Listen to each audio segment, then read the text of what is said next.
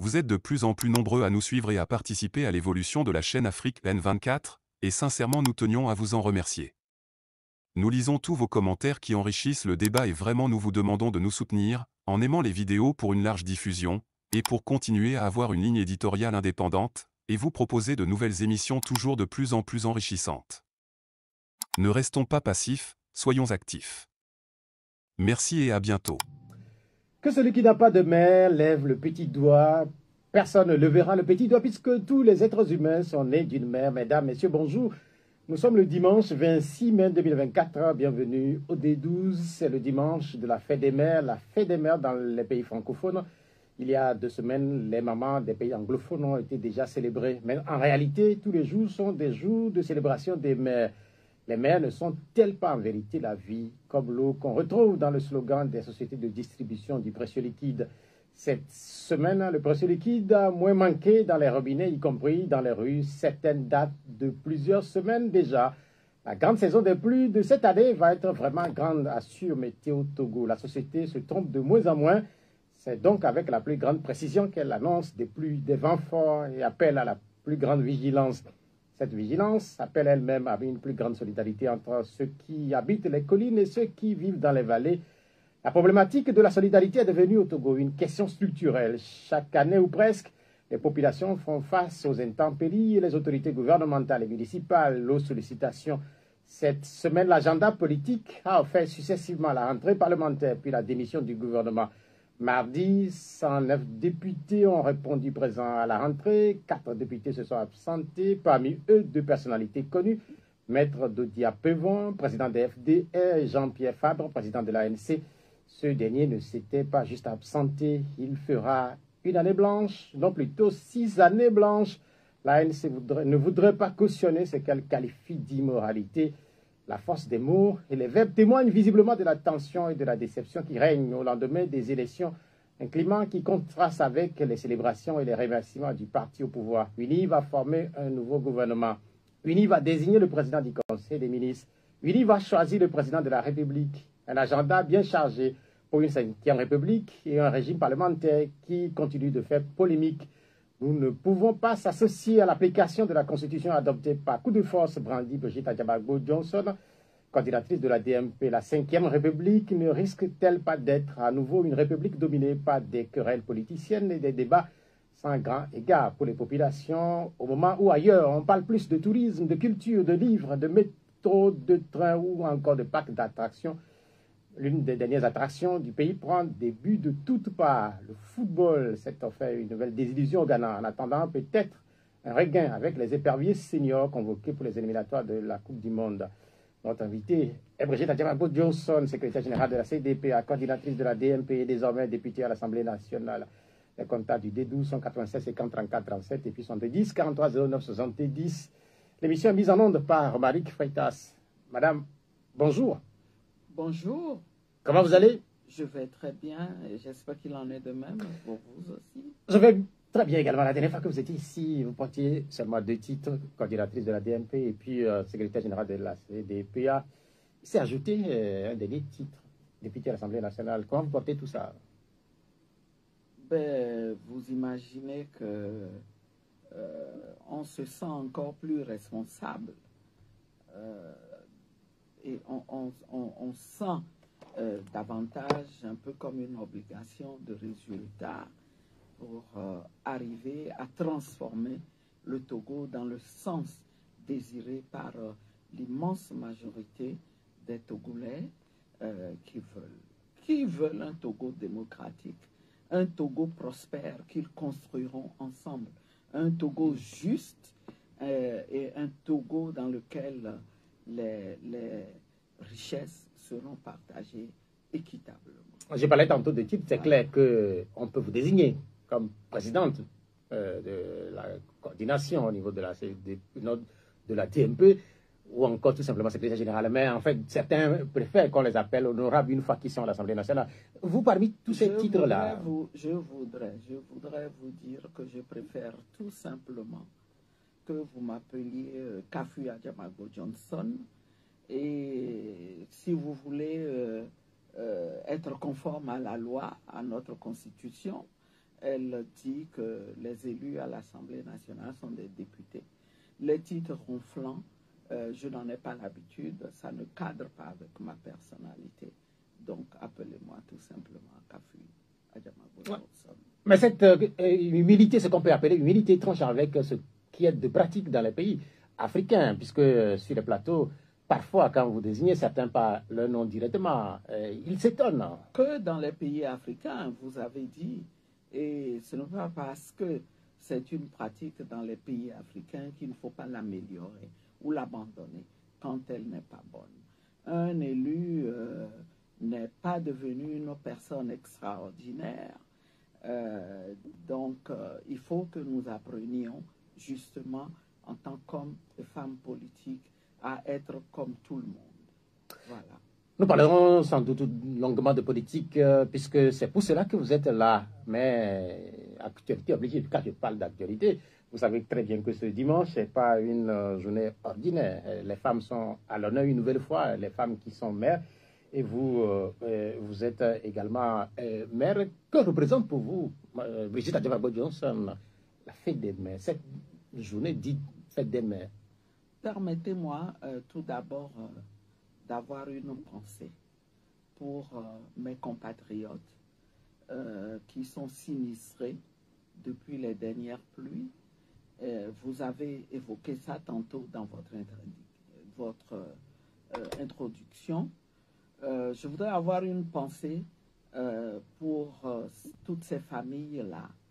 Et j'imagine encore euh, la charge que euh, va représenter hein, ce sinistre-là pour euh, les femmes hein, dans, ces ménages-là qui sont touchés. Et je voudrais leur dire toute ma compassion et faire une demande. La demande, c'est que on prennent rapidement des mesures pour assister toutes ces familles. C'est vrai, on dira qu'il y a un centre qui est construit euh, euh, pour les sinistrés, mais vous savez que toutes les personnes touchées ne peuvent pas aller là-bas et elles ne désirent pas forcément être là. Il est urgent, il est urgent que les services compétents euh, se mettent dès demain à voir quoi faire pour venir en assistance à ces familles-là euh, qui sont euh, bouleversées par ce sinistre de manière à ce qu'elles puissent reprendre une vie tout à fait normale. Ce n'est pas une faveur, c'est ce qui se fait dans tout pays où l'État se sent responsable des citoyens. agir dans ce sens euh, fait partie des services que tout citoyen est, censé attendre hein, de, l'État et, des services qui développent le sentiment euh, d'appartenir à une grande communauté. Au-delà de cette assistance qu'on pourrait leur apporter pour que euh, ces familles puissent reprendre une vie normale, je me demande pourquoi. Pourquoi est-ce que on n'anticipe jamais sur ces problèmes qui sont connus? On sait que dès qu'on a les premières pluies, eh bien, il y a des familles qui sont touchées. On sait qu'il y a un problème d'assainissement qui n'est pas encore réglé. Alors pourquoi, en attendant de trouver des solutions durables à l'urbanisation et à l'assainissement, dans la ville de Lomé, qui est quand même la capitale de notre pays, pourquoi est-ce que on ne peut pas trouver des solutions euh, euh, provisoires qui mettent les citoyens à l'abri de ces souffrances. Je les ai vus dans les vidéos. J'ai vu des citoyens euh, cherchant à, à, préserver des biens et, marchant dans l'eau qui, qui, leur arrive pratiquement aux épaules, je suis très touché par ces images et par euh, ce qui arrive à mes concitoyens togolais. Et c'est un appel que je lance afin que le plus rapidement possible que des actions soient menées de concert avec euh, euh, les, les, mairies pour que nos citoyens retrouvent une vie normale. Ceci étant, oui, vous avez évoqué la fête des mères et je voudrais souhaiter une très bonne fête à toutes les femmes, qu'elles soient mères ou non. Qu'elle soit mère ou non, elle mérite que cette journée leur soit réservée parce qu'elle joue un rôle clé dans la pérennisation de nos sociétés. Ce n'est pas facile d'être euh, épouse et d'être mère.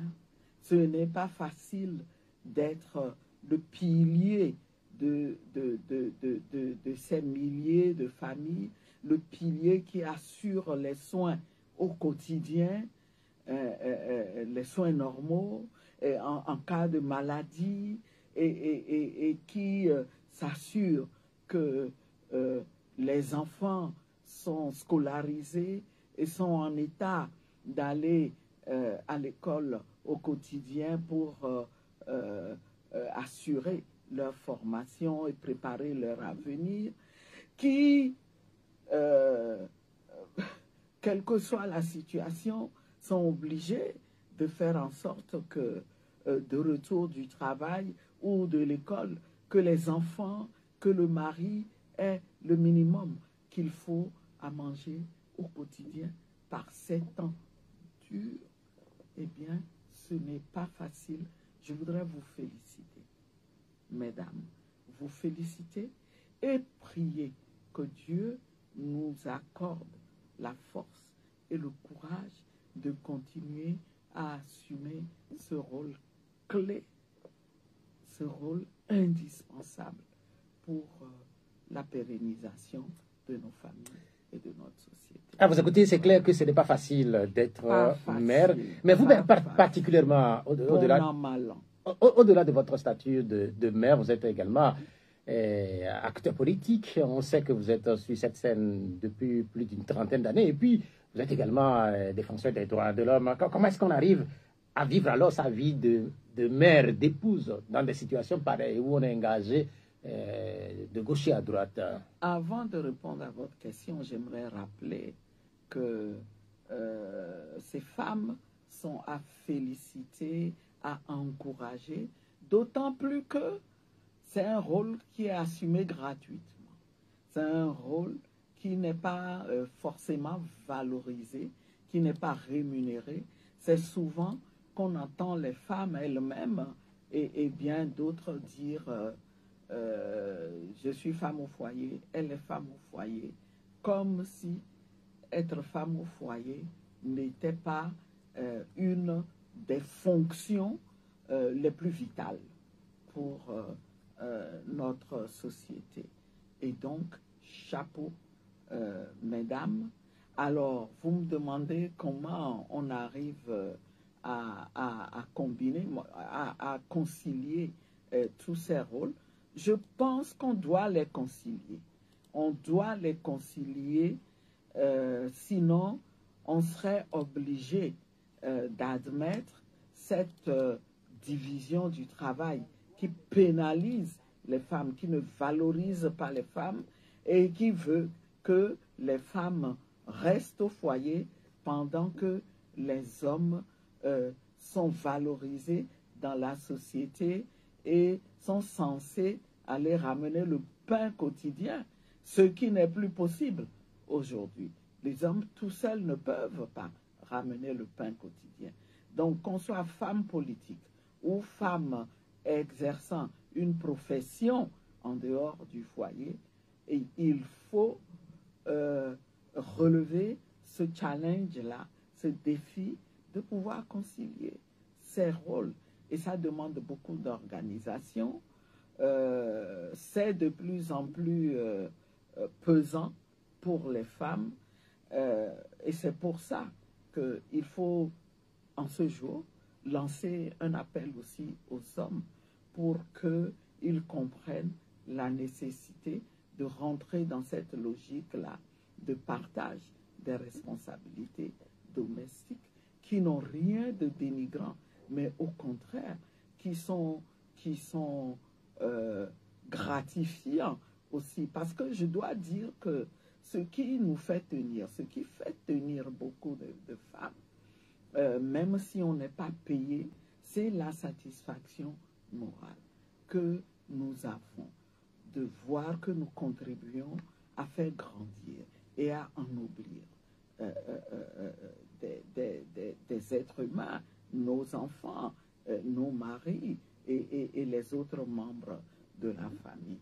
Donc c'est quelque chose de très gratifiant, mais il se fait que nous sommes arrivés à un stade où d'abord euh,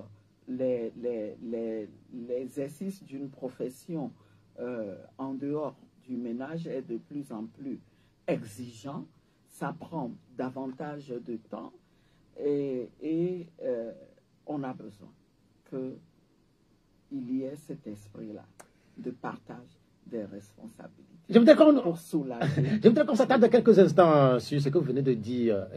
restons dans le concret. Là, allons dans un foyer et les travaux domestiques, c'est quoi pour vous et c'est quoi les partages éventuels à faire? Et Quand, par exemple, la femme est à la cuisine, que doit faire l'homme? Eh bien, l'homme peut aider à la cuisine, aider à éplucher les légumes, euh, aider à accomplir des tâches qui n'ont pas besoin de connaissances spécialisées.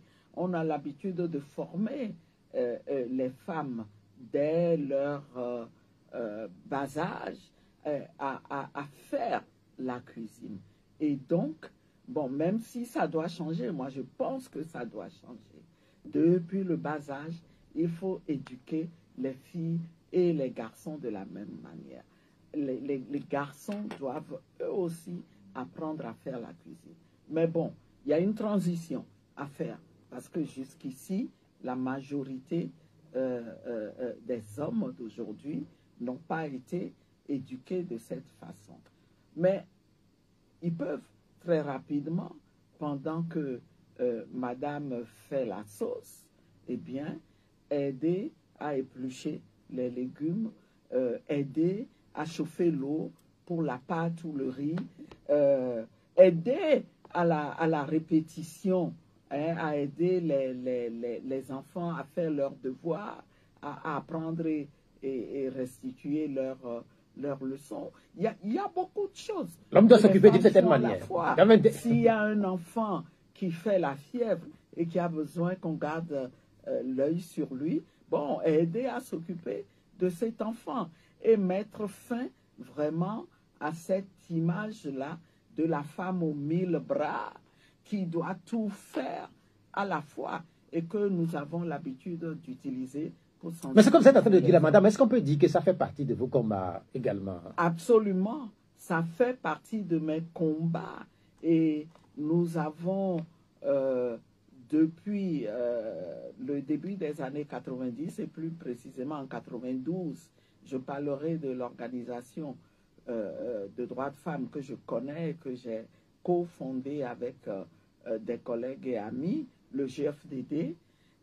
nous avons compris la nécessité non seulement de former tout le monde, et les hommes et les femmes, aux droits des femmes, mais de les sensibiliser de manière à ce qu'ils puissent percevoir les, les, questions de genre, euh, ce qu'il y a comme euh, écart hein, entre euh, les hommes et les femmes, tout ce qu'il y a, ça inclut tout ce qu'il y a comme charge qui pèse principalement sur les femmes pendant que les hommes, quand vous revenez tous de, du, du, travail, eh bien l'homme peut se mettre devant sa télé, écouter sa radio, poser les pieds sur la table au salon et attendre que euh, la femme toute seule euh, se démène pour euh, préparer le repas. Et on a une image, si j'avais su, je l'aurais amenée, qui, qui est parlante. Vous voyez une femme qui s'occupe de l'enfant autour. vous la voyez en train de laver celui qui est un peu plus grand. Et, et, en même temps, en train de surveiller le repas qui, qui, qui, est au feu. Mais c'est vraiment la femme aux mille bras. L'image parle d'elle-même et nous l'utilisons pour former les hommes et les femmes. Et, et, ça passe. Tout le monde comprend qu'il y a quelque chose à faire. Et on peut se réjouir d'avoir des hommes qui sont des champions euh, euh, euh, des droits des femmes. Et je veux rendre hommage à un homme en particulier, je ne sais pas où il est en ce moment, Cyril Comelin, qui, dans l'histoire de la lutte pour les droits des femmes, qui a été secrétaire exécutif du GFDD et donc dirigé le centre de recherche d'information et de formation, mais qui à la fin défendait mieux, parlait mieux, expliquait mieux ces questions de droits de l'homme euh, que les femmes que nous sommes. Et, donc, il, il, est devenu tellement engagé au point où, quand il y a des réunions, des rencontres, nous disons non, Cyril, c'est toi qui vas y aller, c'est pas nous. Et, donc, euh, ce dont nous parlons, c'est quelque chose de réel. Et c'est quelque chose qu'il faut comprendre pour transformer dans le bon sens nos sociétés et faciliter la vie. En, ce dimanche, euh, fait demain, madame, vous rendez hommage donc à Cyril Comelan, qui se, euh, ou bien qui s'est battu pour les, pour, les, pour, les, pour, les, pour les femmes, pour les droits des femmes. Est-ce qu'on ne peut pas dire ou on ne peut pas faire la même chose pour le chef de l'État du Togo, Fonya qui, dans une certaine manière aussi, euh, se bat pour que les femmes du Togo soient de plus en plus en avant? Euh, bon, le constat, c'est ça. il y a des femmes au poste de responsabilité.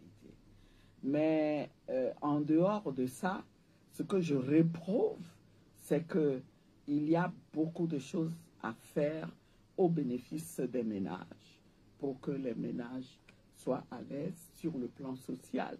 Et il y a aussi beaucoup de choses à faire pour montrer que quand on demande que les femmes participent au poste de responsabilité politique, la logique de tout ça, c'est pour qu'il y ait un fonctionnement démocratique dans le pays et, et, aussi dans les ménages pour que tous les Togolais se sentent à l'aise.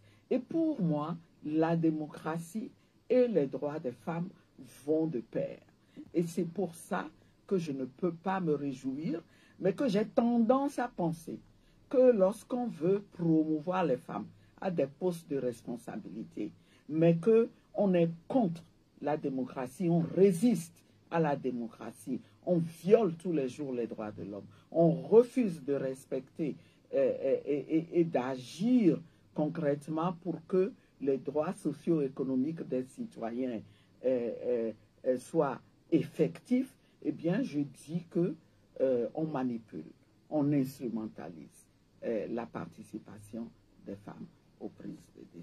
Mais ce que vous dites, c'est ce que je dénonce. ce que vous dites là, est-ce que c'est pas un peu exagéré quand on sait très bien qu'aujourd'hui au Togo, elles sont beaucoup à occuper des postes de responsabilité et de premier plan quand même. Oui, est-ce qu'on peut parler de mais, mais en quoi ça transforme véritablement notre société? En quoi ça concourt à faire du Togo euh, un pays plus démocratique où les Togolais se sentent à l'aise?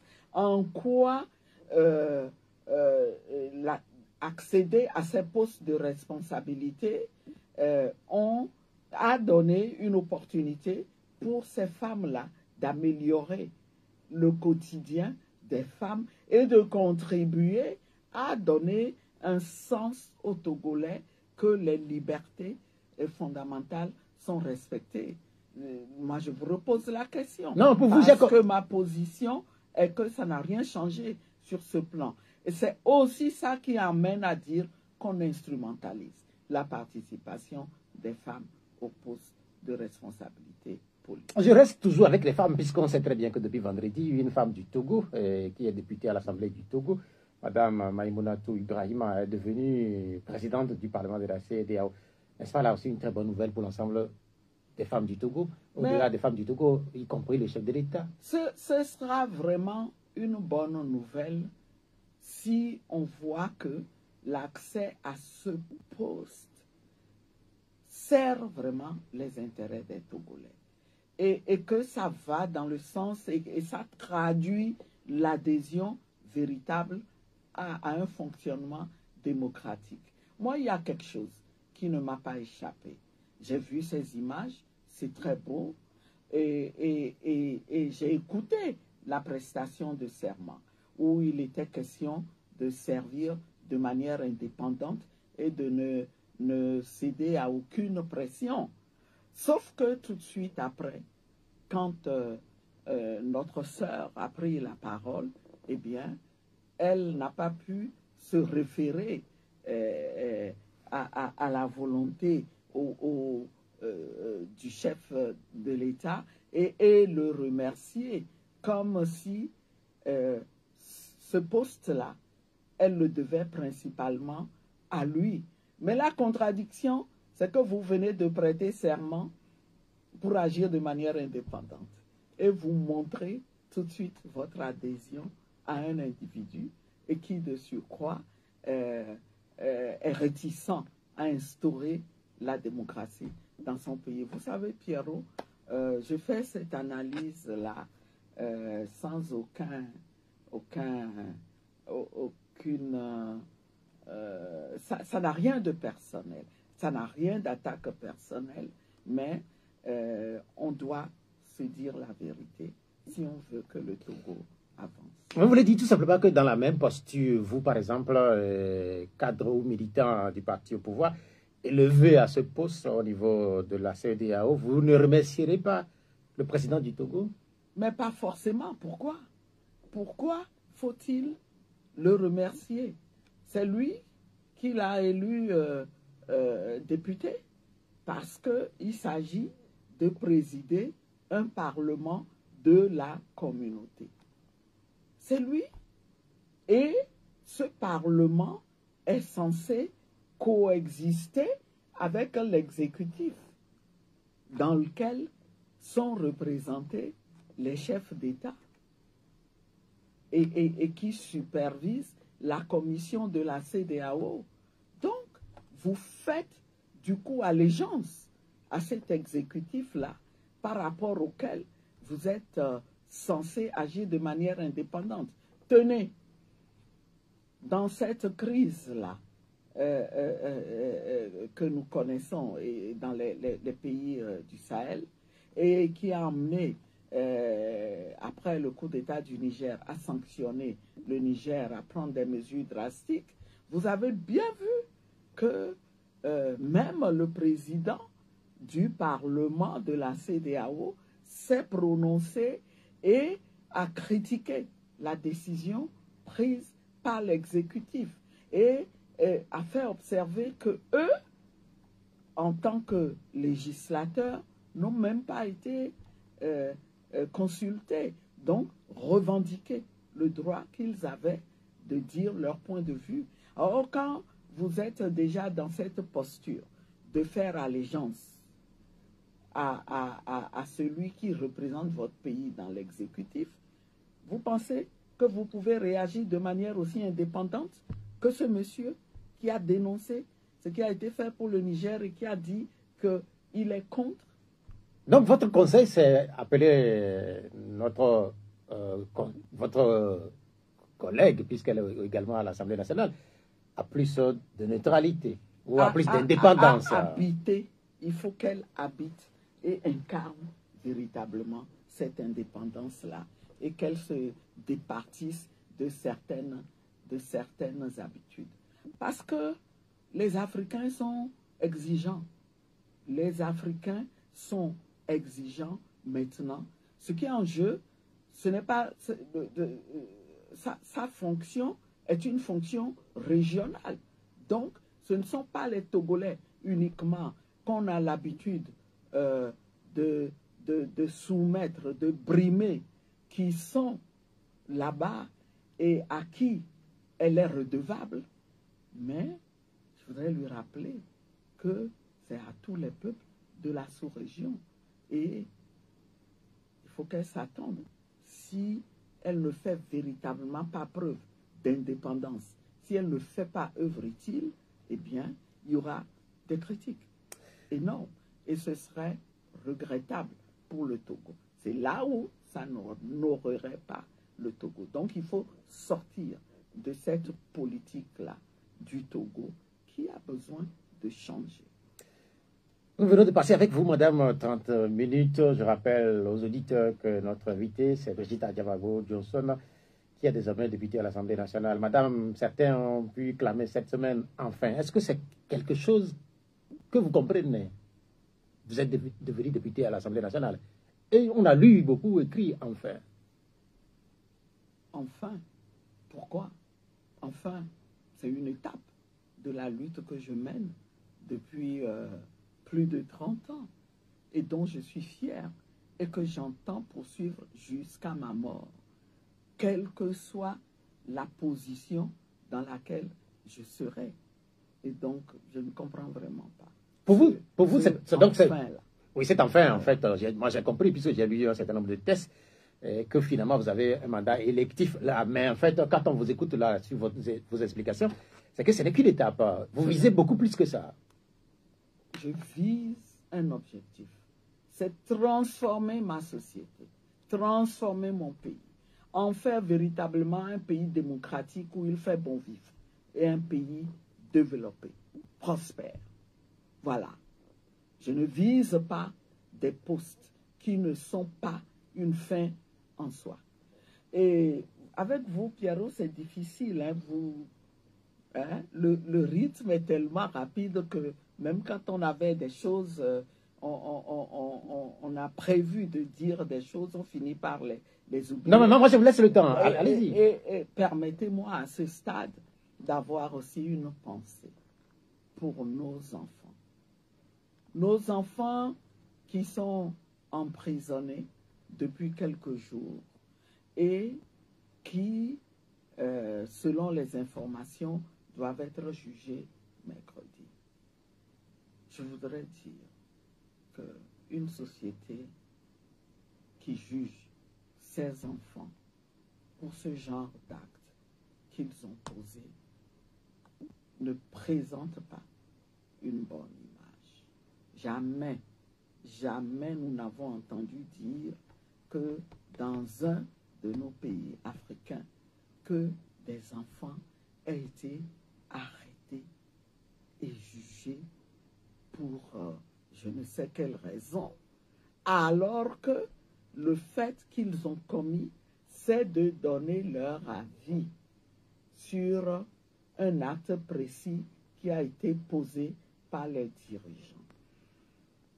Ça va à l'encontre du droit des citoyens de participer à la gestion de la chose publique, un droit qui est reconnu aussi aux enfants et aux jeunes. Et donc, je voudrais demander avec insistance et euh, prier par humanisme ceux qui détiennent le pouvoir de libérer ces enfants-là, et plus précisément le premier responsable de ce pays, pour qu'ils soient libérés et qu'ils puissent commencer leurs examens. Nous savons tous que les examens commencent mardi et il y en a au moins un qui doit aller au probatoire.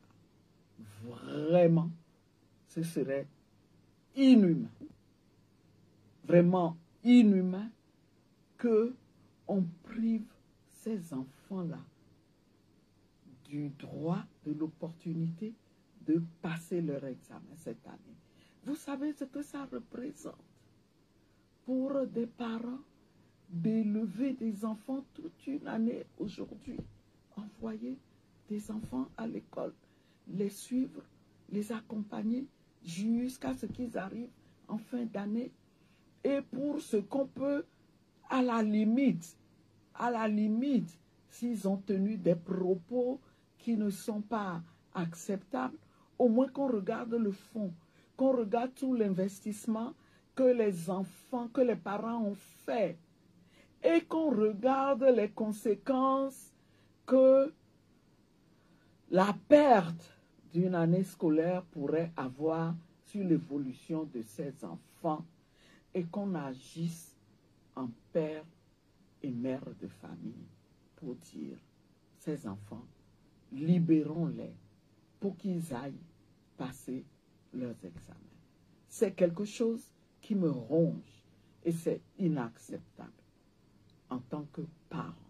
Et je voudrais euh, apporter toute ma sympathie et ma compassion aux parents de ces enfants-là et espérer que ces enfants, dans les heures à venir, pourront être en situation d'aller composer mardi.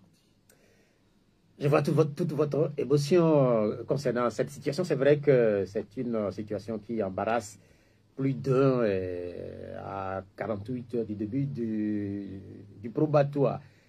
nous espérons aussi, surtout que l'appel que vous venez de lancer sera entendu et aussi peut-être aussi un autre appel à appeler à peut-être à plus de, de, prudence, à plus de, de retenue, à plus de à faire plus attention sur les réseaux sociaux. Oui, il faut utiliser les réseaux sociaux de manière responsable, mais il ne faut pas se servir aussi euh, de lois qui existent pour bâillonner les citoyens. Euh, et, et, et, et, empêcher qu'ils ne se servent de cet outil merveilleux pour faire évoluer leur société. C'est ce que tout le monde veut. C'est ce que nous avons, nous rêvons tous de vivre dans un Togo meilleur. Personne ne s'engage dans un combat pour détruire notre pays. On ne peut pas. Si nous détruisons notre pays, nous irons vivre où? Qu'il faut comprendre.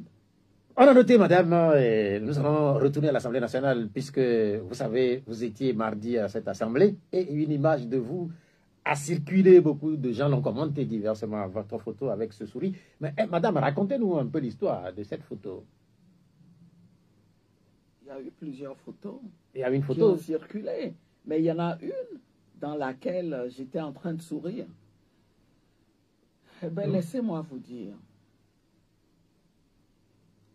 je suis entré dans cette assemblée avec un sens profond du devoir et de la responsabilité. Et dans mes entrailles, j'en ressentais euh, l'effet. Et à un moment donné, il y a de vos collègues que j'ai reconnus, il y avait plein de photographes qui me disent Ah, Bonjour madame. Je dis, ah bon, euh, c'est vous, comment ça va et tout. Et c'était à lui que j'étais en train de sourire. C'est avec lui que j'étais en train d'échanger. Parce que je me disais, oh, enfin voilà une figure familière une figure euh, euh qui, qui rassure. voilà. C'est tout l'histoire de cette photo. Euh, quant aux commentaires qu'on en fait, vous savez, Pierrot, quand on agit sur la base de convictions profondes et avec la conscience qu'on respecte ses convictions et que on est en, proximité, en harmonie avec le peuple, je vous assure que de par ma nature, euh, aucune, injure, aucun, commentaire médisant ne m'affecte. Je, garde le cap parce que je sais où je vais. Je sais ce que je fais. Donc rien ne me dévie. Hein, de, de, votre explication, de, votre explication, on peut dire qu'à un moment donné, vous vous êtes senti sous, pression, peut-être dépaysé, quelque part où vous n'avez pas l'habitude d'être. Est-ce que euh, là, sur, euh, je ne sais pas combien de temps la séance a duré, que vous vous êtes senti euh, à un moment donné un peu bousculée, sous pression et peut-être sereine? Comment est-ce que vous vous êtes senti durant toute cette session? Qui a eu lieu, ou cette séance qui a eu lieu mardi Non, non, non, j'ai habité cette nouvelle fonction-là de député euh, avec la conscience que euh, je représente des voix et que je suis redevable à ces Togolais qui m'ont fait confiance. Et donc, j'ai beau être en minorité, je prendrai toute ma place. Je prendrai toute ma place. Personne ne me fera taire. Personne ne me brimera. Vous le savez, je n'ai pas l'habitude hein, de, de, me laisser brimer. Donc, euh, oui, j'étais entouré euh, d'une forêt pour euh, emprunter les termes d'un autre de vos confrères, d'une forêt de, de, de, Togolais qui ne sont pas du même camp que moi, qui, qui ne partagent pas les mêmes valeurs que moi, mais j'ai conscience que je dois exister, que je dois représenter les Togolais qui m'ont fait confiance et qui m'ont élu et qui, j'en suis sûr, ont élu beaucoup plus de députés DMP. L'image qui... Je me sens comme une rescapée. Une rescapée. D'un accident Qui va assumer ses responsabilités. Quand on a regardé un peu les images, euh, on vous a vu euh, seul quelque part, et puis euh, toute cette assemblée où tous ces représentants du parti au pouvoir, on peut se poser beaucoup de questions. Certains se l'ont posé, elle cherche quoi là-bas?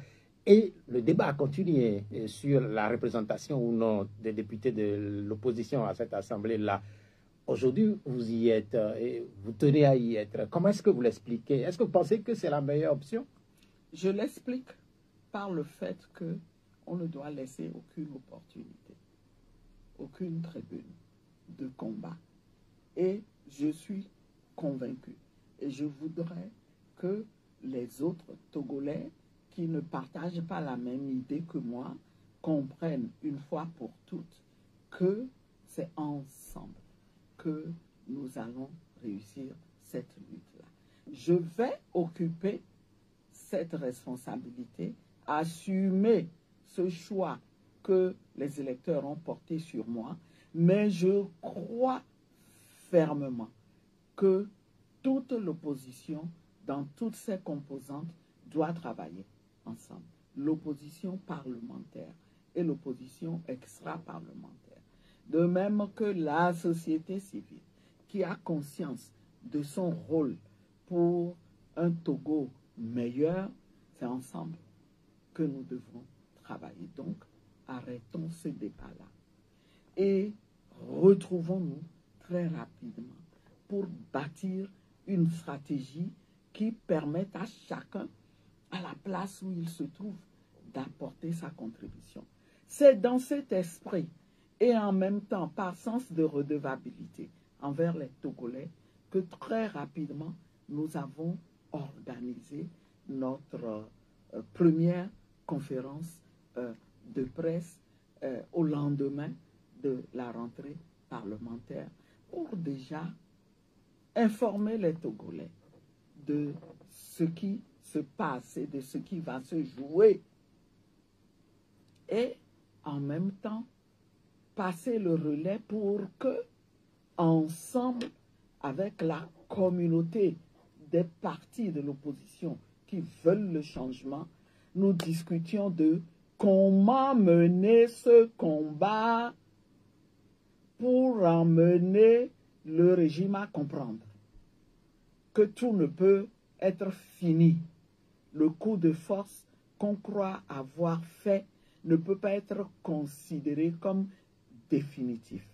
Que nous avons besoin de nous asseoir, et je l'ai dit dans l'interview que j'ai donnée à vos confrères au sortir de la, la session de droit, que cette assemblée-là, nous avons la responsabilité de régler le problème de la Constitution promulguée le 6 mai 2024 et de faire en sorte qu'il y ait véritablement réconciliation nationale. Notre rôle, ce n'est pas d'appliquer une constitution qui est conflictuelle.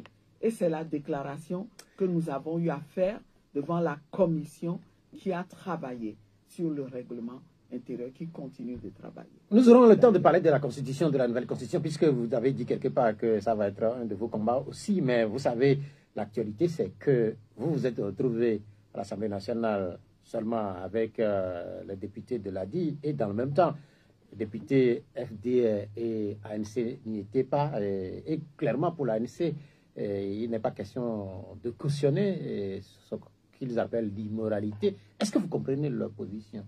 Ah ben, je, je comprends, parce que l'immoralité, nous aussi, on l'a on, on, dénoncé. Euh, on a dit, c'est des contre-valeurs. Ce régime bâtit ses stratégies pour se maintenir sur des contre-valeurs.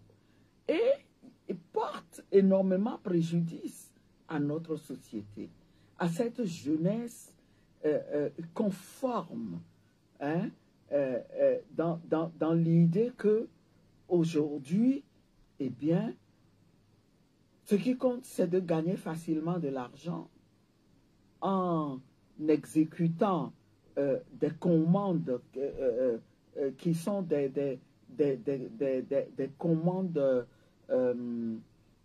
répréhensibles sur le plan moral, tout comme sur le plan légal.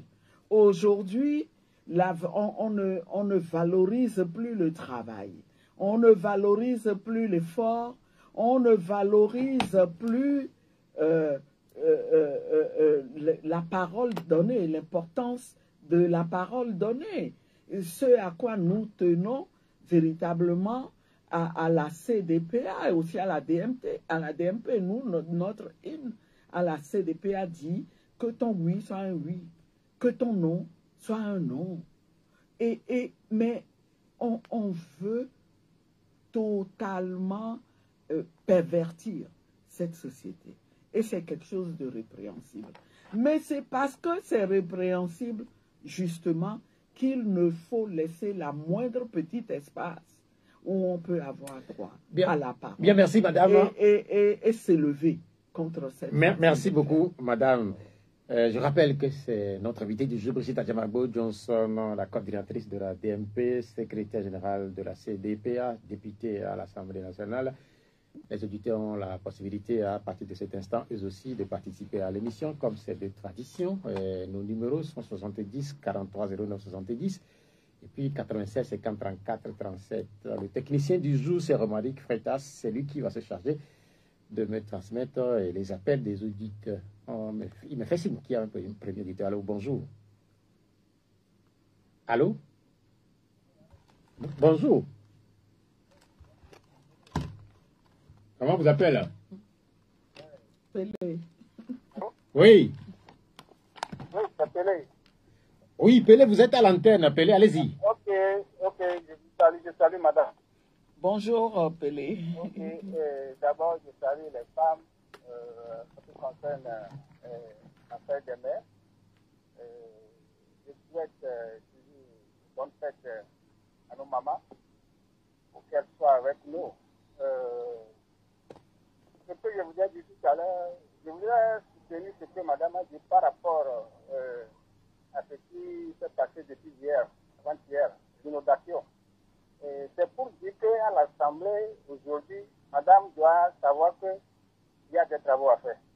Ce n'est pas de rester. Et automatiquement, il faut, je pense qu'il faut euh, aider cette population-là euh, à créer comme si automatiquement l'Assemblée pour sortir, pour aller vers cette ministère-là. Ça, c'est la première préoccupation que vous devez faire à l'Assemblée nationale. Madame, merci pour le Bien, merci PD pour euh, votre euh, passage. Il est clair. Merci. Madame, réaction? Non, je pense que euh, il, a raison. Il a raison, Pelé. ce qui se passe sous nos yeux devrait interpeller tout élu. Et, et c'est pour ça que j'ai lancé l'appel tout à l'heure. Et évidemment, euh, tout ce que cette assemblée euh, pourra faire, eh bien, euh, en tout cas, on en parlera. On évoquera le problème. Deuxième auditeur, allô? Allô? Bonjour. Allô, bonjour. Euh, comment vous appelez Joshua. Joshua, vous êtes à, à l'antenne, allez-y. Oui, bonjour madame. Bonjour, euh, chers compatriotes. Comment ça va? Ça va bien, merci et vous-même? Ok. Moi, j'ai une petite question pour vous. Oui. Et ça concerne votre présence à l'Assemblée euh, mardi passé, je crois. Oui. Et ça a encore amené un débat entre ceux qui ont voulu siéger et ceux qui ne veulent pas siéger. Maintenant, moi, j'aimerais vous demander, est-ce que vous-même, opposants, est-ce que vous vous êtes concerté pour définir euh, une position commune? Concernant le fait d'aller ou, ou ne pas aller Sinon, moi, ce que moi j'ai vu, euh, l'Assemblée actuellement présente une figure très très belle. Et si vous allez, c'est bon. Même, même si vous n'allez pas, il n'y a plus quelqu'un qui va encore prendre. Et l'uni sera seul. Mais toutefois, il faut que vous vous concertez pour définir une position unanime. Quoi. Sinon, ça, euh, ça amène encore des problèmes là et nous sommes encore divisés. C'est pour ça que j'aimerais poser la question pour savoir si vous êtes concertés. Bien, merci euh, Joshua pour votre intervention, madame. Merci beaucoup. euh, merci euh, aux compatriotes euh, Joshua. La, la question euh, qu'il soulève est une question très importante. C'est important euh, parce que, euh, de, de manière générale, quand on analyse la situation du Togo en ce moment, j'avais dit tout à l'heure que euh, l'Assemblée a un rôle à jouer pour qu'on retrouve une certaine cohésion sociale. Mais ce besoin de cohésion qui, d'après moi, passe euh, minimalement par une concertation nationale pour qu'on trouve des solutions à la question de la Constitution, eh bien, ce besoin de cohésion se pose pour l'opposition euh, aussi. Et donc, euh, c'est normal qu'il cherche à savoir est-ce que nous nous sommes concertés? Ce que je peux lui répondre, c'est que euh, il y a un processus qui est en cours. Il y a eu des concertations bilatérales, trilatérales. on a raté une occasion à la veille euh, de la session euh, euh, de droit de se retrouver à cinq, mais les discussions se poursuivent. Et je veux dire qu'il a raison. Il a raison que nous harmonisions nos points de vue. Des efforts sont en train d'être faits dans ce sens-là. Et au-delà même de l'opposition parlementaire, il faut une harmonisation des points de vue aussi. Il faut définir des stratégies communes avec l'opposition extra-parlementaire pour prendre un nouveau départ dans cette lutte que nous menons. Bien, bien, merci, madame, pour euh, vos éclairages. Après Joshua, nous retenons au téléphone pour un autre auditeur. Allô, bonjour. Alors bonjour, Euh, quel est votre nom? C'est Gérard. Gérard, allez-y. Oui, je rappelle que ce n'est pas les deux Gérard de madame, hein. ce n'est pas l'un des deux Gérard de madame, non. Mais c'est curieux, d'autant plus que vous, vo- votre voix semble ressembler à celle de Gérard Jossou. Je me disais, est-ce que c'est pas mon collègue euh, Non, et compagnon suis- de misère qui... Je suis un Gérard unique. ah, Oui. Alors, madame, bonjour. bonjour. Eh, je suis fier de vous, de par vos, vos convictions et votre modèle. J'ai deux réactions à votre endroit. Première réaction, c'est celle qui est sociale. Vous êtes euh, une femme de modèle. Eh, quelle réaction avez-vous aujourd'hui quand vous observez vos, vos jeunes sœurs? Qui, bon, pour la plupart, n'arri- n'arrivent plus à rester au foyer. Aujourd'hui, nous avons plusieurs familles monogames. Comment vous pouvez expliquer ceci? Moi, une chose rapidement, euh, ces femmes-là quittent le foyer et regagnent la famille. Et dans plusieurs familles, maintenant, nous avons euh, des femmes avec euh, un, deux, trois enfants qui sont à la famille et, qui sont dans la famille et des fois qui embêtent les, les, femmes de leurs de leur frères. Bon, ça c'est la première réaction. La deuxième réaction, elle est politique. Alors, moi, je me réjouis de votre présence à l'Assemblée, puisque ça fait longtemps que vous menez ce combat. Et à une époque donnée de la vie politique, bon, nous autres, nous avions changé de, vision. Euh, on, on, accompagnait certains. C'est dans ce pays qu'on a marché plus de cinq ans. Nous l'avions bien obtenu. Et en 2020, il fallait que vous fassiez tout pour avoir un candidat unique. Les autres ont refusé. Pendant ces élections législatives, vous avez mené des tractations pour que vous ayez une liste commune. Les gens ont refusé. Les gens ont cru dans ce pays qu'ils avaient que l'opposition, c'est-à-dire le, les, les, voix de l'opposition étaient pour eux une propriété privée. Ils ne comprennent pas Ce qui fait que, avec ce score qu'ils ont eu, pour eux, c'est comme c'est une honte et ils ne veulent pas cesser. Madame, je vous en prie, formez avec ADI et si FDF veut, vous formez une coalition, un groupe parlementaire pour que vous soyez au moins audible la, la parole, le porte-parole, en quelque sorte, de, de, la grande majorité qui est. Mais si on est, comment on pourrait comprendre ce qui se déroule à l'Assemblée? Merci, madame. Bien, merci. Combat et ça y est. Merci, merci Gérard pour votre intervention sur la première partie de la question. À propos euh, de, de, vos sœurs qui refusent ou qui ne se retrouvent plus dans, véritablement dans le mariage. Non, c'est vrai que le constat qu'il fait, c'est que on se retrouve euh, euh, de plus en plus avec des familles monoparentales et, surtout des femmes qui sont euh, chefs de famille monoparentales. c'est quelque chose que je déplore, mais je pense que ça mérite des analyses euh, approfondies pour voir quelles sont les causes profondes de ces situations-là.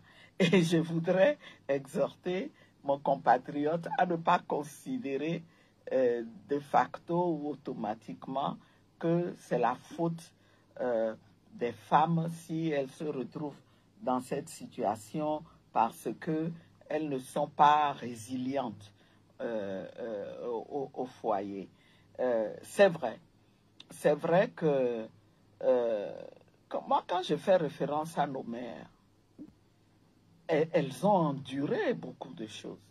Et je, je pense que j'ai déjà eu l'occasion de le dire euh, sur, euh, si ce n'est pas ici, en tout cas chez un de vos confrères, où j'ai dit, en, me référant à mon cas personnel, euh, j'ai eu un père modèle, mais je veux dire que dans, dans la vie de couple de mes parents, il, il, y a des moments où on voyait que euh, la maman, elle, elle, elle, en supportait tellement, elle, en, euh, elle encaissait hein, tellement de, de, coups que euh, on, sentait sa souffrance, même si elle ne voulait pas quitter le foyer parce que pour elle, c'était important elle, comprenait, elle a compris que pour l'équilibre de ces sept enfants-là, il faut qu'elle reste au foyer, et, coûte que coûte. Et, mais nous, on sentait, et moi j'avais 10 ans, quand je suis entrée en sixième, en classe de sixième au collège Notre-Dame des Apôtres à Lomé, et c'est quelque chose, c'est un moment que je n'oublierai jamais, parce que c'est la première fois où mon école était vraiment éloignée de, chez moi. Euh, au cours primaire, j'étais dans une école du quartier. Et le premier jour où il a fallu partir, la petite fille que j'avais avait une peine et une crainte. C'est que avant qu'elle ne rentre à midi, sa maman qui semblait tant souffrir ne meurt. Qu'on lui dise, maman est morte, maman n'est plus là. Vous parlez de vous là? Je parle de moi. C'est quelque chose qui m'a traumatisé. Et il est arrivé des moments où on a dit à notre maman, on ne veut pas que tu meurs, pars de la maison, va t'installer ailleurs, nous viendrons te voir. Mais elle n'a jamais cédé à, à, à, à, ça. Elle nous dit, on n'a rien à, faire, Qu'est-ce que vous avez à vous mêler de, de ce problème? Tout ce qu'on vous demande, c'est d'accomplir votre devoir d'enfant. Allez à l'école, et, travaillez bien, réussissez. C'est tout ce qu'on vous demande. Mais ce n'est pas évident pour euh, les femmes. Je pense que ce qui l'a aidé à tenir, c'est non seulement son éducation, mais sa foi aussi de, de- de chrétienne catholique qui l'a amené à, s'accrocher à son Dieu. Bon, peut-être que aujourd'hui il y a eu, euh, nous avons dans notre société de, un, véritable problème.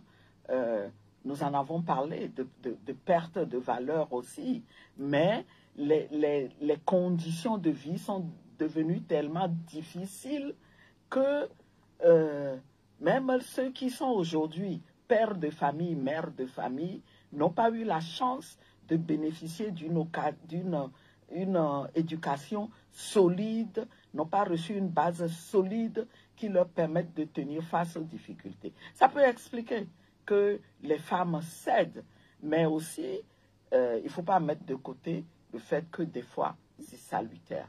C'est salutaire pour que ces femmes-là retrouvent une certaine sérénité et qu'elles restent en vie, que, bon, elles prennent euh, cette décision-là. Mais je reconnais que c'est un problème que la société doit régler sans pour autant euh, accuser hein, euh, forcément les femmes qui se retrouvent dans cette Bien, merci beaucoup, madame. La deuxième partie de la question, c'est pour vous féliciter, vous encourager à rester à l'Assemblée nationale. Il y a cette question qui est envoyée depuis Bamako par Saint-Pascal, plusieurs questions, mais je vais vous proposer certaines de ces questions. Que retenir en général de cette élection qui s'est déroulée le 29 avril passé C'est l'une des, des questions qu'il a envoyées.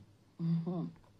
Sans doute qu'il fait allusion à- au résultat, puisqu'on sait très bien que au final, l'opposition au total a eu euh, 5 sièges et que le parti au pouvoir uni a eu 108 sièges. Madame, réaction?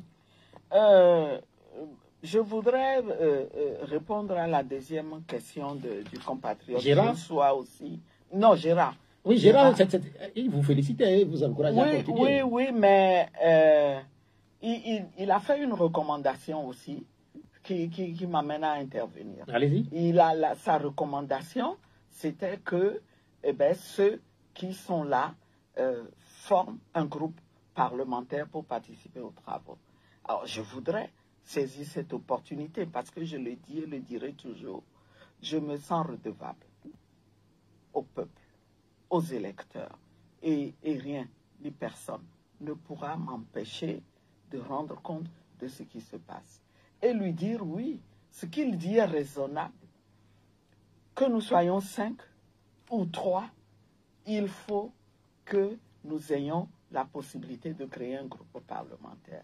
Mais c'est justement un sujet qui est en discussion au niveau du règlement intérieur. Et pour l'instant, euh, cette demande forte que nous avons eu à faire pour que euh, on puisse euh, autoriser au lieu de 1 25e que porte le règlement intérieur de euh, la législature passée pour créer un groupe parlementaire, ce qui fait euh, à partir de 4, 4, 4 et demi, mais 4 et demi, on va dire 5. Donc, au lieu de cette exigence-là, qu'on permette qu'on revienne, par exemple, à un quarantième de, l'Assemblée, ce qui permettrait que euh, les trois qui sont présentement à l'Assemblée, s'ils se retrouvent à trois, mais qu'ils puissent avoir la possibilité de participer eux aussi aux travaux de cette Assemblée, d'avoir une voix, de se faire entendre, de faire en sorte qu'il y ait véritablement un débat. Admettre le contraire, ce serait faire le choix politique d'exclure certains des députés qui ont été élus. Et tous se valent. Mais, mais dans le cas Les de- 108 n'ont pas plus d'importance, plus de valeur que les cinq. Au cas où cette demande ne serait pas acceptée, que ferez-vous Et il faut que cette demande soit acceptée. Il faut que cette demande soit acceptée. Et donc, euh, nous comptons euh, continuer à insister pour que finalement nous ayons la possibilité de constituer un groupe merci. parlementaire tout en espérant et tout en priant que euh, les deux autres collègues se joignent. à Bien, bien, merci. La question de Saint-Pascal depuis Bamako euh, sur euh, ce qu'on peut retenir de façon générale des élections du, du- du 29 avril. Non. Euh, ce qu'il faut retenir, c'est que les résultats ne traduisent pas la réalité des rapports de force. Ça ne traduit pas les aspirations de l'immensité des Togolais euh, à voir une autre équipe aux affaires, à être gouvernée autrement et à, à avoir euh, une assemblée nationale qui prennent vraiment en, en- compte les intérêts des Togolais et, qui ne restent pas dans la logique tout simplement d'accompagner un régime dont les Togolais ont l'impression que euh, ne se préoccupent pas de leur bien-être. La preuve, cette question-là de l'assainissement de nos villes. C'est récurrent chaque année qu'il y ait des, parties entières de Lomé sous l'eau. Mais pourquoi? Si on avait vraiment le souci du bien-être des Togolais, on aurait trouvé un palliatif qui marche. Même s'il faut reconnaître que régler le problème de l'assainissement euh, de Lomé en particulier, euh, c'est une, grande affaire. Si ce qu'on a commencé jusqu'à présent n'est pas ce qu'il fallait faire. Bien, merci madame. On, va retourner au téléphone après la question de notre ami qui nous suit euh, depuis Bamako et qui est dans le groupe, dans un des groupes des auditeurs de Pyramide FM. Allô, bonjour. Oui, bonjour. Oui, vous êtes à l'antenne. Quel est votre nom? Basile. Basile, comment vous allez Ah, ça va comme ça, comment tout douleur. Je vis très mal. Mais, mais, mais quand, quand- quand- quand je vous écoute, euh, je sens plutôt euh, que- quelqu'un qui est très en forme, joyeux peut-être parce qu'aujourd'hui sa maman est en train de fêter. Ou on célèbre Ah, sa oui. maman. Vous faites de la provocation là, euh, si je peux me permettre.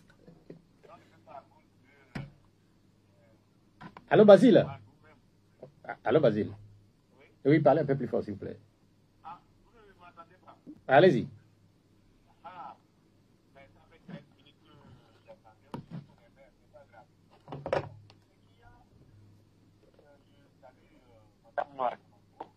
Bonjour, chers compatriotes. euh, comme elle a choisi de participer au débat,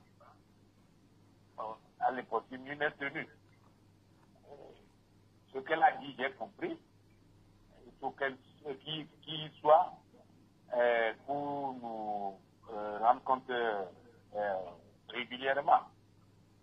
Euh, Est-ce que ceux avec qui on a affaire, eux, ils voient, ils voient ça de cette manière-là Elle-même, elle avait dit que quelqu'un a dit qu'il ne veut pas de proposants dans, dans l'Assemblée. Donc, euh, et tout, tout était mis en œuvre pour euh, qu'il n'y soit pas. Bon, si, euh, sais pas, la dernière seconde, quelqu'un leur a dit de, de les mettre cinq pouvoirs.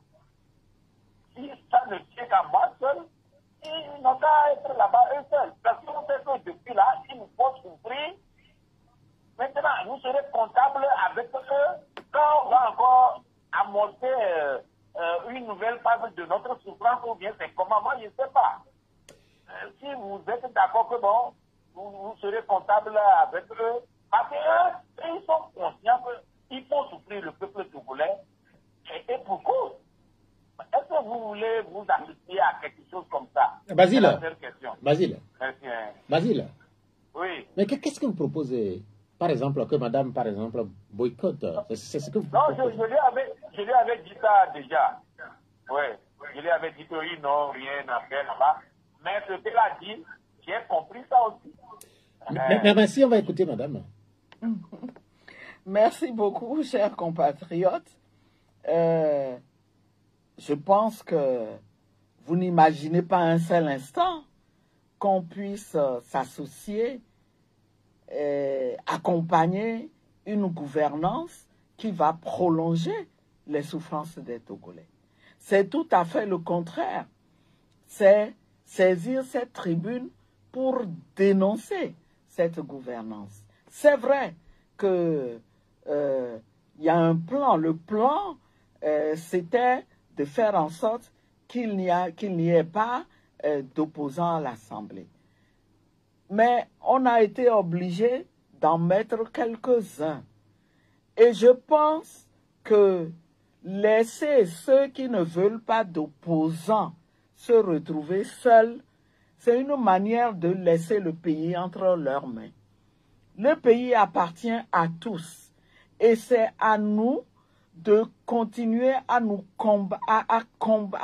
nous battre pour leur arracher le pays, pour leur faire comprendre que jamais, au grand jamais, le Togo ne pourrait être abandonné à quelques-uns de ses enfants.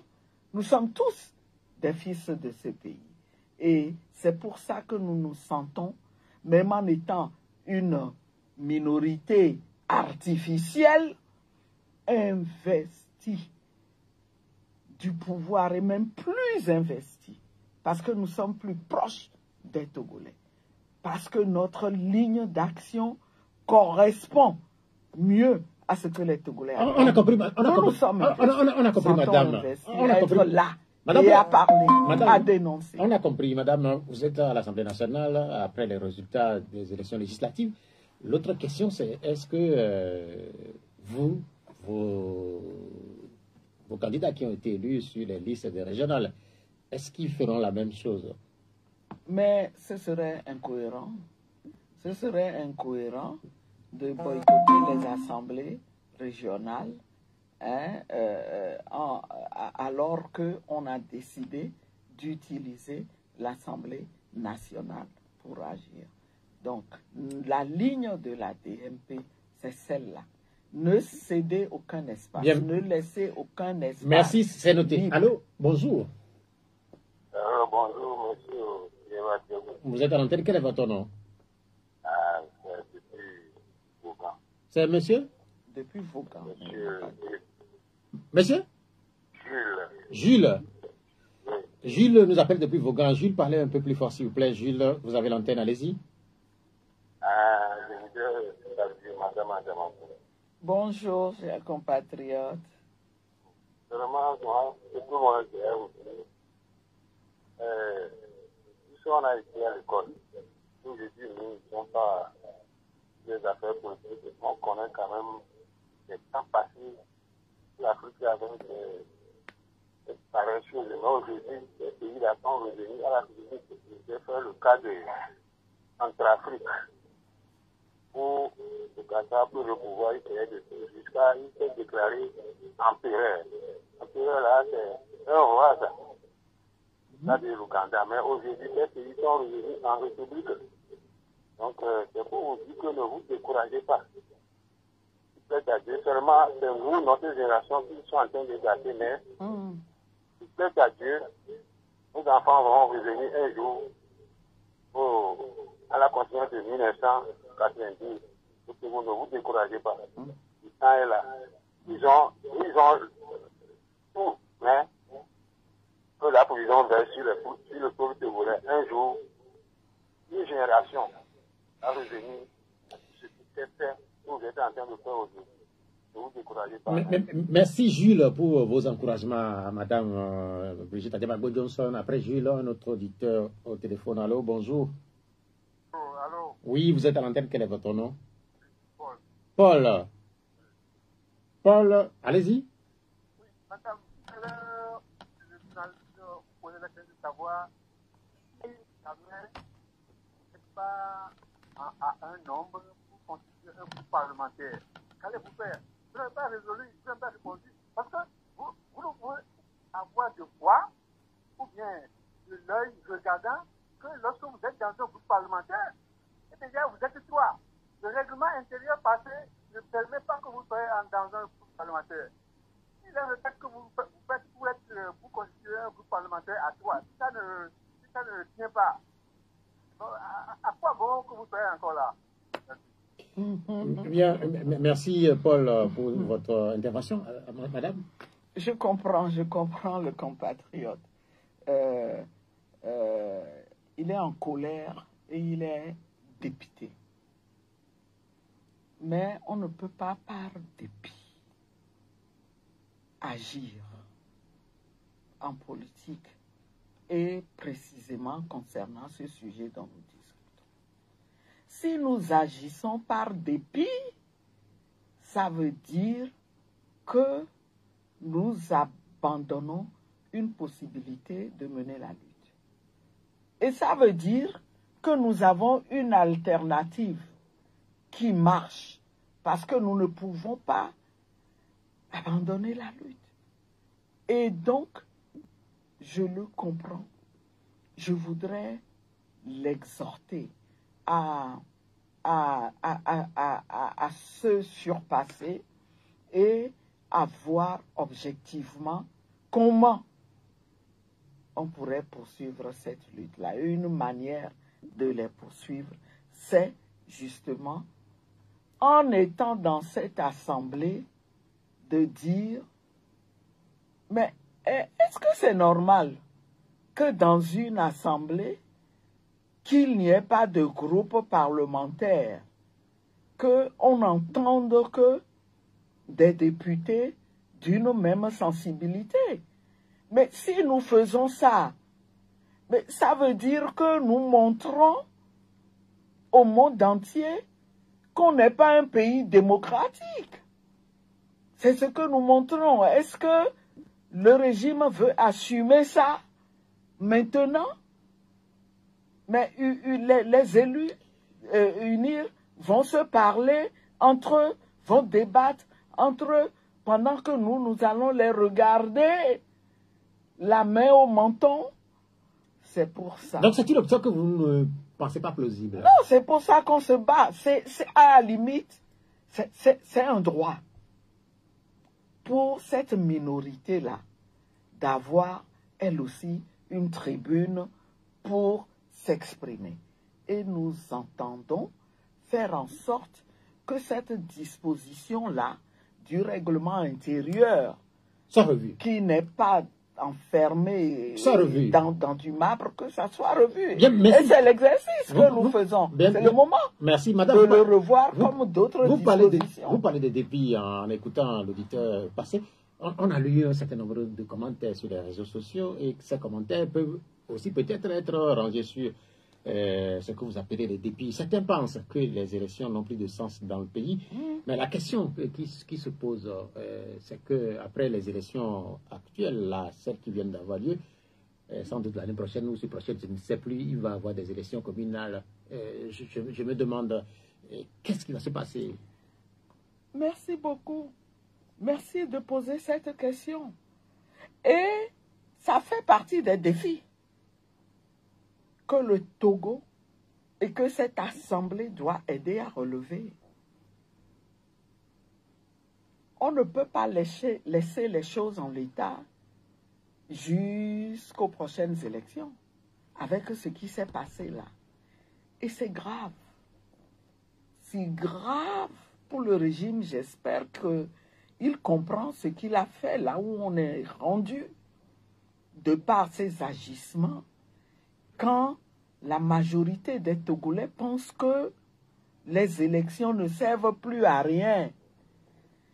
Et, que, d'abord, il, y avait une partie infime qui a fait l'effort, qui a bien voulu croire encore à ces élections et qui, qui a daigné y participer. Mais ce qui est grave, c'est que même ceux-là qui ont fait l'effort le 29 avril dernier, eh bien, la prochaine fois, on ne leur donne plus aucun argument pour qu'ils puissent sortir voter. Donc nous sommes au pied du mur. Le régime nous a mis au pied du mur. Ce pays est malade. Il y a beaucoup de sujets conflictuels qui font que nécessairement, quand on, parle, on pense à ces élections, quand on pense à la constitution conflictuelle, quand on pense à l'état du social, à l'état dans lequel se trouve le pays, dans lequel se trouvent les Togolais, tout ça fait dire qu'il nous faut absolument une concertation nationale. Et je comprends ce qui a été exprimé la dernière fois par le Quai d'Orsay quand on lui a posé des élections, des questions sur le Togo. Ce qui se passe nous concerne, nous, avant tout, Togolais, mais il se fait que si on veut être responsable aujourd'hui, nous en appelons à ces concertations-là. On ne peut pas penser qu'on va appliquer de force cette constitution qui est un coup de force. On ne peut pas penser que on va maintenir le statu quo et appeler les Togolais de nouveau à d'autres élections. On ne peut pas penser que les Togolais, on va les laisser survivre avec autant de souffrance. Il est temps qu'on aille tous au chevet du Togo qui est malade. Ce on ne peut pas faire Votre comme si tout allait bien. Bien, merci, madame. Ce n'est pas possible. Votre demande est là, et on l'a écouté également venant d'un certain nombre de partis politiques, mais est-ce que c'est pas, euh, est-ce que c'est pas trop tard? Pourquoi pensez-vous que ce soit trop tard? Pourquoi? Parce que vous pensez que ça va être faire du bien au Togo que de foncer, de vouloir parachever le coup de force électorale Mais ceux qui, ceux qui sont, en, ceux qui sont, en- en- en mettant en place de nouvelles institutions envers et contre le peuple. vous parlez de coup d'État, C'est de la folie. vous parlez de coup d'État, vous parlez de folie, mais ceux qui sont des porteurs de ce projet parlent de plus de démocratie et sans doute de plus de développement plutôt. Mais Est-ce que c'est pas quelque chose aussi ils- les- ils- les sont dans l'instrumentalisation et dans la manipulation. Et il faut qu'ils se disent que tout a une limite. Tout a une limite. On ne peut plus continuer. Pour la Constitution, il y a eu une manifestation cet après-midi à Bekogné. Je ne sais pas si vous êtes au courant. Elle est bienvenue. C'est organisé par Nova International. Elle est avec- bienvenue, je comprends. Est-ce que vous seriez à Kodji Écoutez, ce que je voudrais dire, c'est que c'est une très bonne initiative. Mais ce que je veux euh, euh, déplorer, c'est que ce soit une initiative isolée dans un contexte où on sait que dans la grande communauté des partis politiques et des organisations de la société civile qui veulent la démocratie et qui sont contre la manière dont on veut enlever aux Togolais le droit de choisir leur premier dirigeant, nous sommes nombreux. Il y a une diversité. Et la diversité doit être perçue comme une richesse. Il faut une initiative qui implique toute cette diversité d'acteurs-là. C'est le conseil que je veux donner. C'est ce que je veux dire avec force. À la DMP, nous n'avons pas été impliqués. À la, euh, à la coalition euh, ne touche pas à ma constitution, nous n'avons pas été impliqués. Mais nous reconnaissons le bien fondé de cette action et nous appelons tous les Togolais à y aller pour euh, montrer que nous sommes contre cette constitution-là promulguée le 26 mai 2024. Il nous reste encore 4 minutes. euh, certaines des questions euh, touchent euh, à la saison des pluies. Vous en avez parlé un peu. Madame, je sais pas, vous habitez où? J'habite à Balepé Dogan, Est-ce que vous, à côté. ouais. Est-ce que vous avez des, des- des- des soucis d'inondation?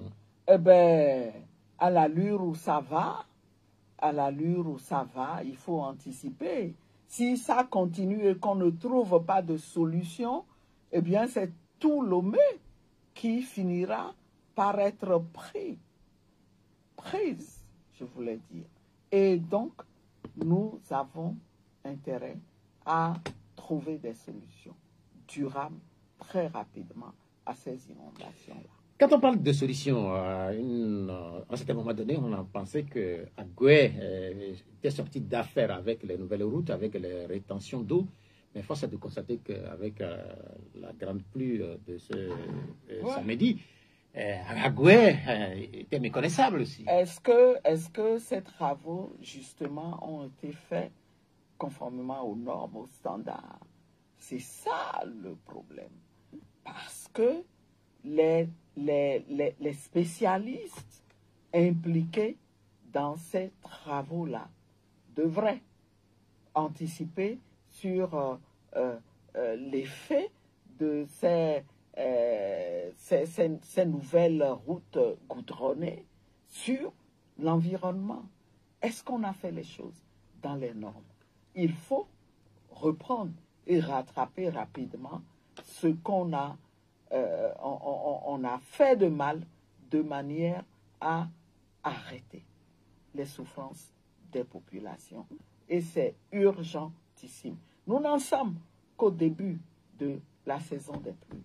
Et voyez déjà les dégâts qui sont enregistrés. Quand on écoute euh, ou quand on lit euh, les commentaires sur les réseaux sociaux, certains veulent inclure ce qui se passe là dans tout ce qui se fait se fait un peu dans la sous-région, notamment que cette sous-région est soumise à des intempéries assez fortes, avec des vents violents parfois. pour ce qui concerne le Togo, euh, là, vous appelez à ce qu'un certain nombre d'actions ou d'actes soient, posés. Mais au-delà de la situation conjoncturelle, euh, les changements climatiques impliquent un certain nombre d'actes venant également euh, des populations, des acteurs de premier plan au niveau du gouvernement c'est des questions qui ne sont pas assez prises en compte quand on évoque les changements climatiques. Certains pensent que nos pays ne seront pas touchés. Visiblement, là, on a l'impression qu'avec ces vents qui accompagnent les, les pluies désormais, nos pays sont exposés. Oui, c'est un problème sérieux et justement, ça nous impose d'accorder une priorité, une importance à ces questions-là et, et de trouver des solutions. C'est clair, la nature est là, il y a, l'impact euh, de l'action euh, des hommes aussi sur cette nature. Ben justement, euh, il appartient aux gouvernants de prendre des mesures pour trouver des solutions hein, aux effets de la nature, aux effets du changement climatique mais aussi d'emmener, d'emmener leurs concitoyens euh, à, à, se sentir responsables aussi et à avoir des comportements responsables. L'impulsion pour des changements de comportement, ça doit arriver des gouvernements. Voilà.